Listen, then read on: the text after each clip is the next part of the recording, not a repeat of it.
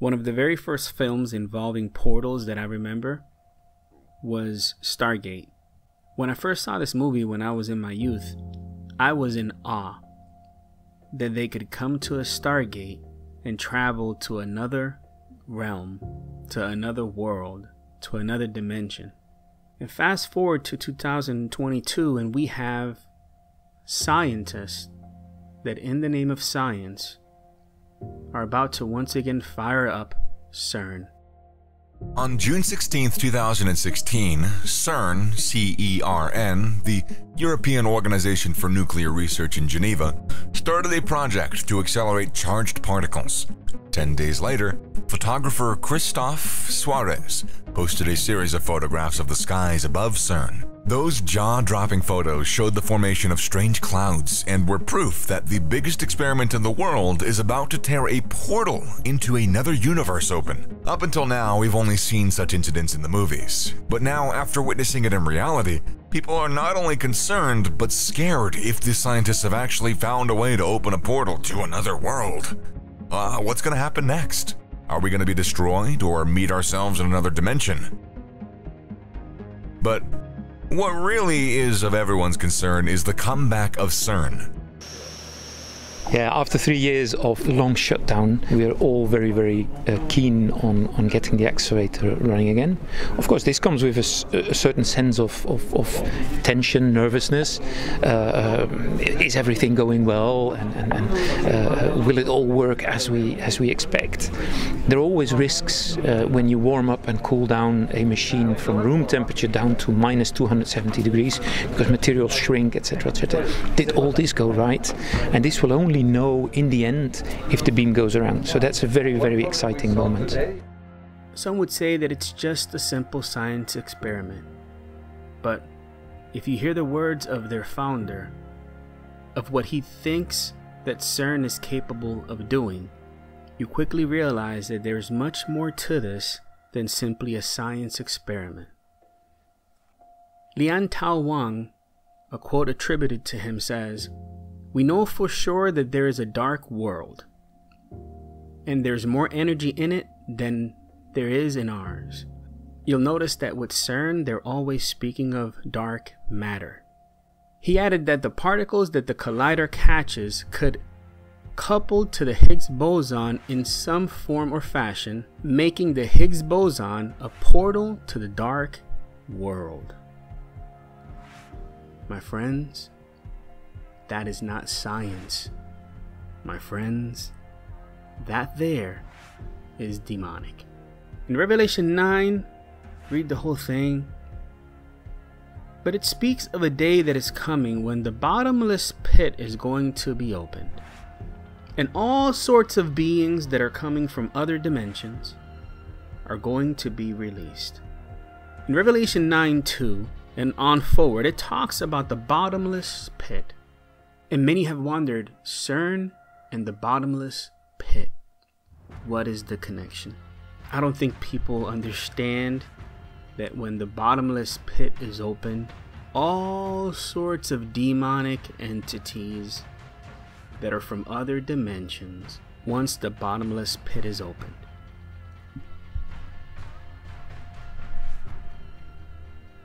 If you read Jude 6, if you read 2 Peter 2 4, you can understand that in the bottomless pit, which some would even say is Tartarus, some of the most wicked fallen angels are there. The ones who kept not their first state and were fallen angels. When this place is opened, I don't think this world understands what they're tapping into in 2022. The idea of a portal is not new. If you look at Stonehenge as an example, Stonehenge is located precisely on a very highly active ley line configuration. Mullumbimby, New South Wales, 1939. Frederick Slater, the president of the Australian Archaeology Society, was dispatched to investigate the discovery of a complex aboriginal arrangement consisting of 188 standing stones. Slater dubbed the formation the Stonehenge of Australia and became convinced that it was one of the oldest temple complexes in the world, predating those found in Europe and the Middle East. Natural energy lines. Running around the globe, everywhere, are energies that pulsate through the Earth. This particular place is on, we call it a power spot, where energies seem to accumulate, come into like a hub, and then flow off into other So places. if, is this the same what they call ley lines? Is that the, The ley thing? lines and ley energy all come into it.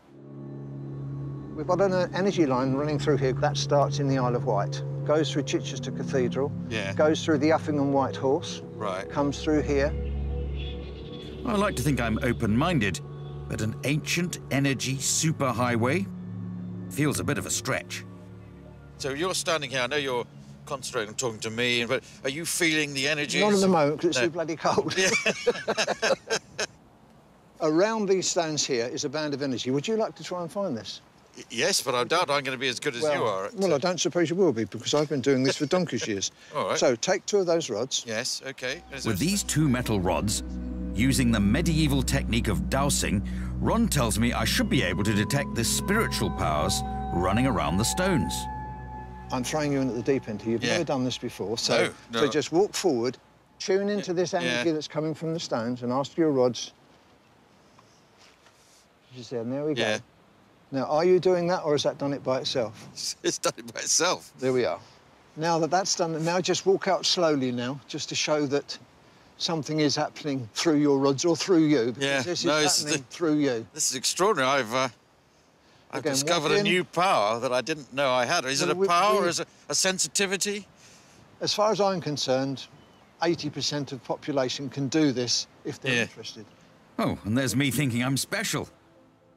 When you listen to historians in our modern day, they always tell you that if you go to the past, you see individuals that were Neanderthals, you see individuals that were uneducated, you see individuals who were lacking understanding. But the more and more you go looking backwards, the more you start seeing structures that it that it baffles you that a human alone could have built.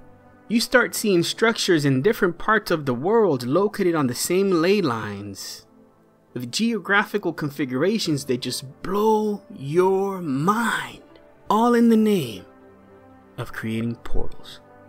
But I tell you today to be very careful with these portals because Ephesians 6:12 tells you a little bit of a glimpse of what you find in these portals. For we wrestle not against flesh and blood.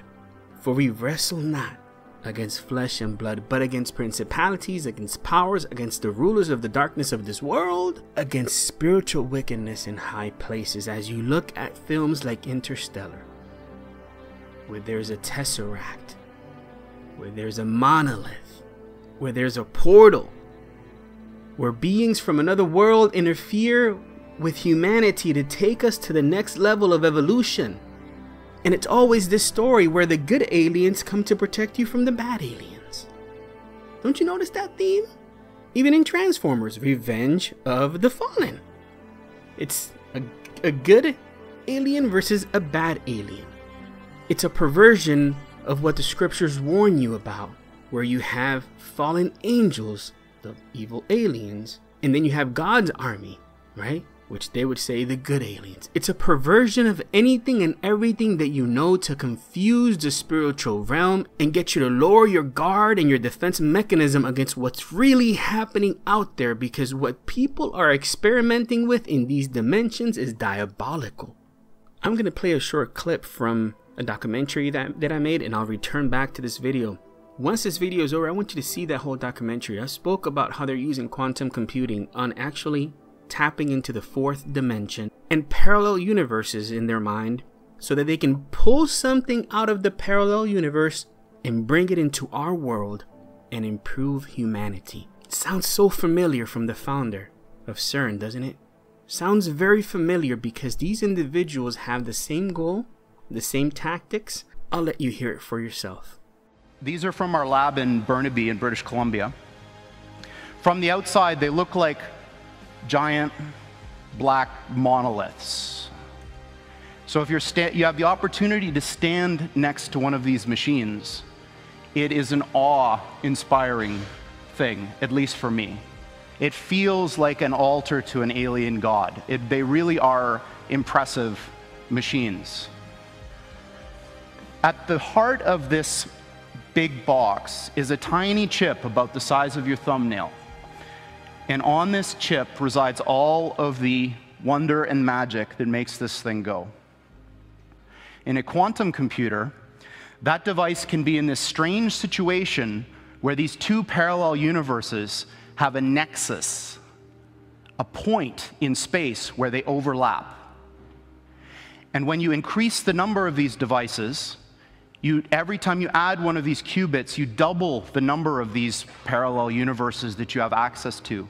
Until such time when you get to a chip like this, which has about 500 of these bits, you have something like 2 to the 500th power of these guys living in that chip. So the way I think about it is that the shadows of these parallel worlds overlap with ours. And if we're smart enough, we can dive into them and grab their resources and pull them back into ours to make an effect in our world. Now, this may sound very odd to you and bizarre, and in fact, I am using language that a normal theoretical physicist probably wouldn't use, but this is what I'm telling you is absolutely correct and in line with the way that these things actually Portals work. are everywhere. A lot of these musicians, when they're standing on stage, some of these stages are in the forms of portals. Your children are bombarded with portals because that's what CERN is. It's a portal for grown scientists, but your children are experimenting with it as well. Lego Dimensions. Have you ever heard of Lego Dimensions? Where they can build a portal in their bedroom and they can take a little character, put it on the portal, and it transfers them into a different realm and universe. Granted, all of that was preparation for the metaverse and all of the things that are coming. But isn't it amazing the indoctrination with Disney Infinity? The same thing. A portal that you can walk into and it takes you to a different universe where you interact with different entities, where you interact with different planets and you interact with different worlds. I think people have forgotten that Satan comes as an angel of light. Satan is not going to come to scientists and tell them and reveal to them who he is in nature. He's not going to come to world entities and reveal to them who he is and what he does and how he deceives and how he attacks. It's been a slow indoctrination for these governmental agencies, and it's been a slow indoctrination for your children in your home. Films like Harry Potter, where they can walk into a portal that's built on a train station and end up in a different dimension in a different world, where they can build portals on command essentially and travel to different destinations. Current TV shows like Night Sky on Amazon, they have a portal in their backyard. And as you watch the series, you'll find out that there are different portals in different parts of the world, located in specific locations. Sounds very similar to Stonehenge, doesn't it? Where people believe that they have a portal where they can interact with entities that are unseen, and yet they don't believe in the Bible? Funny how they'll tell you they don't believe in the scriptures, yet what they're doing is everything that the scriptures is describing in Ephesians 6:12. They're tapping into the demonic in the name of science, in the name of fun, in the name of entertainment. When you look at Joe Rogan as an example, when he taps into the DMT, and we'll deal with that in another video, when they use these recreational drugs, they're doing it as a religious experience. And when Joe Rogan enters the DMT realm, he's even said it himself. It's changed his life entirely because now he's at a point that aliens can land in front of his house. He wouldn't be impressed because he's seen something in another dimension.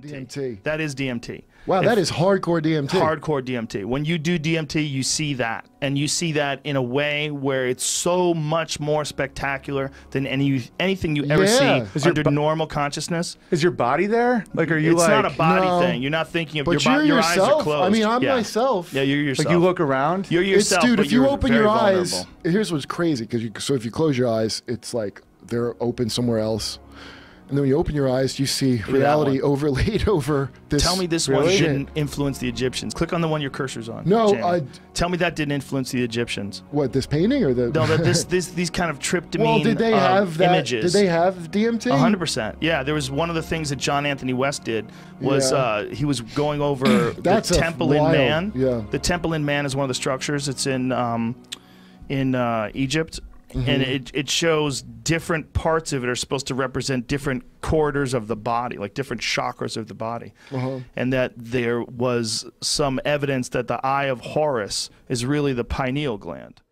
To Joe Rogan, DMT is a portal. And the entities that they see in that portal, some of them are called machine elves. They see fairies, they see jesters, they see serpents, they see fallen angels. They see all sorts of entities, and yet they believe in that, but they can't believe in Jesus. But they can't believe in Jesus. Family, there is another dimension. There is. Examples of it are in Scripture. Tons of them. Of Jesus defying that fourth dimension. Because he is God. 2 King, 2 Kings 2.11 is an example of something that happened involving what we know as the fourth dimension.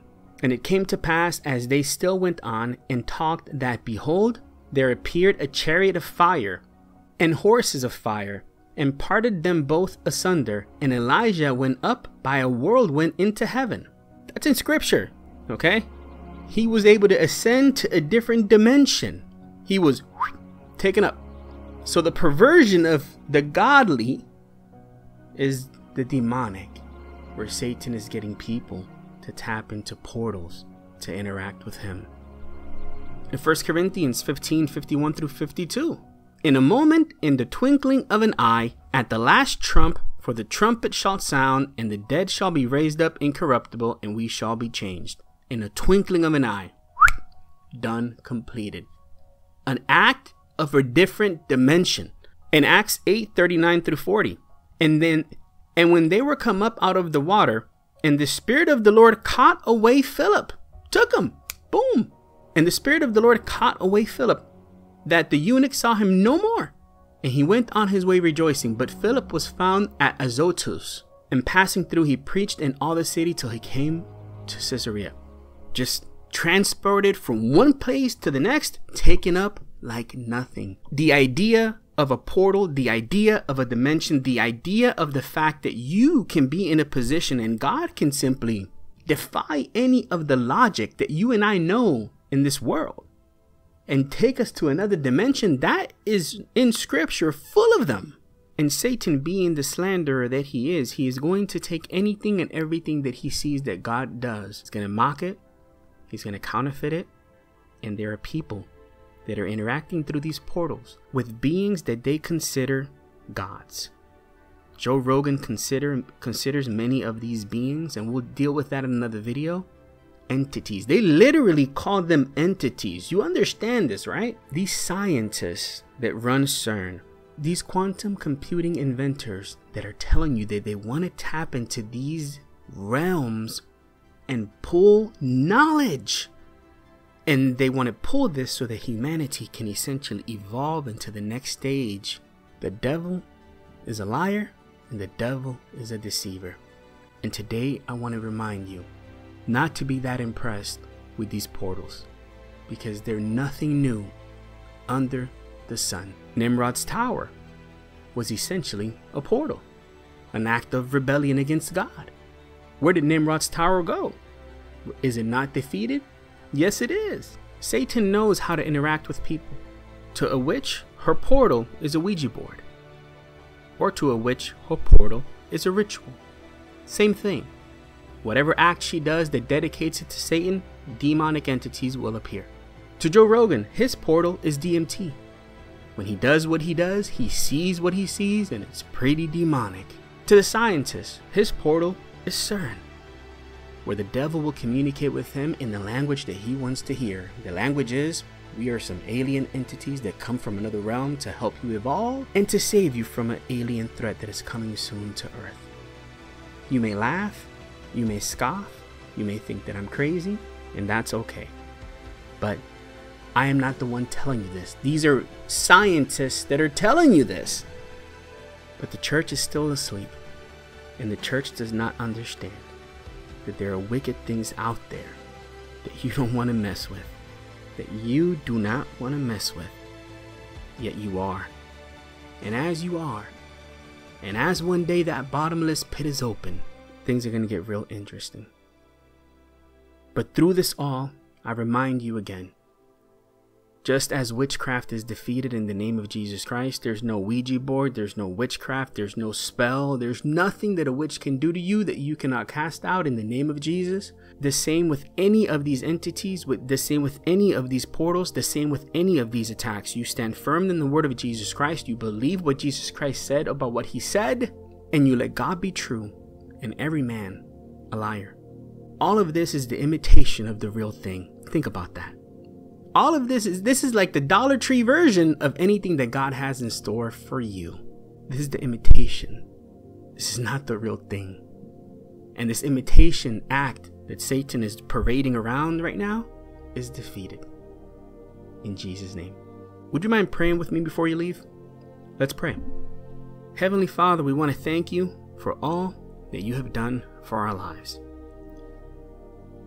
You are an awesome, awesome God. You are an awesome, awesome God that defies all things. This world is still trying to understand that fourth dimension. This world is still trying to understand how in the book of Revelation you described a perfect tesseract in the New Jerusalem. They can't, these are things that baffles, baffles humanity.